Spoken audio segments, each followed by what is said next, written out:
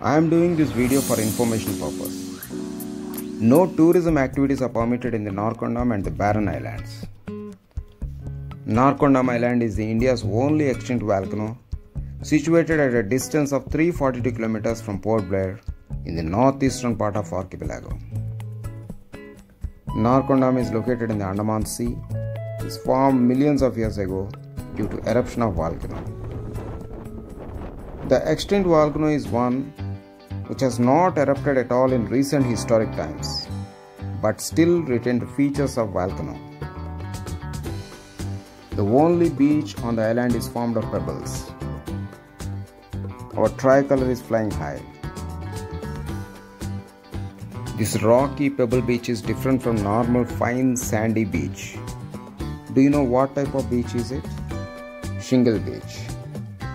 Shingle beaches are rare and beautiful and found in few places in the world.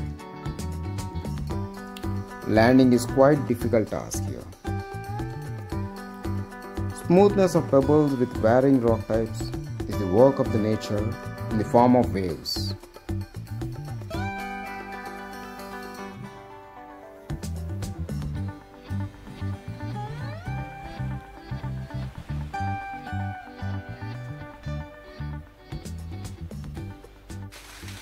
This water source is a perennial one.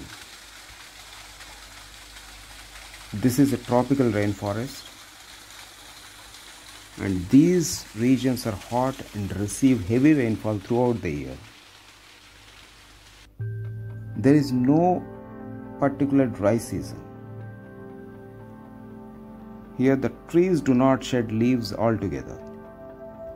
The thick canopy the closely spaced trees you can observe.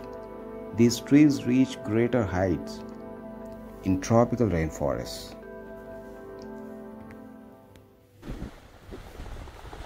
High sea waves are normal as this is an open sea. Shingle beach works as breakwater.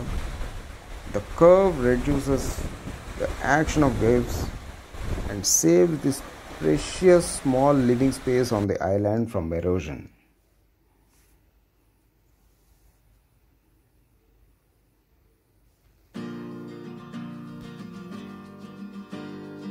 Our tricolor gives us strength, courage, dedication, and made every Indian so proud.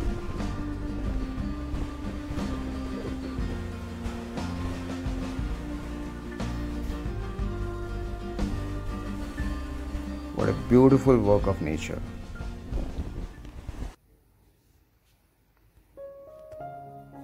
Narcondam. Narcondam crab having only one pad with claw on the front.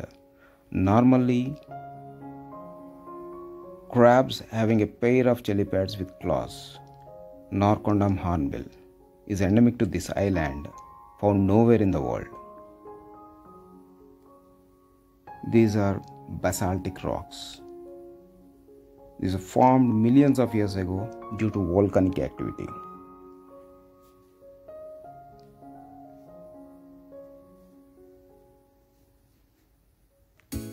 Barren Island is located in the Andaman Sea.